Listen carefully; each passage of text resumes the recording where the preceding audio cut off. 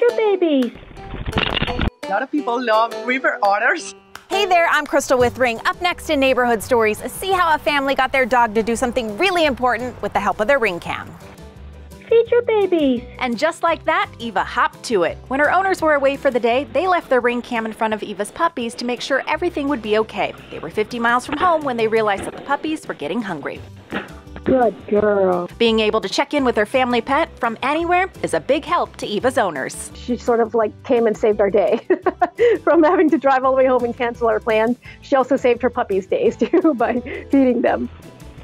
A feathered friend got into Doug's home through the chimney and set off his ring alarm. Doug wasn't home but got a ring alert, pulled up his recordings from his indoor cam, and saw the intruder. No need to call for backup on this one. Doug hurried home to help the bird.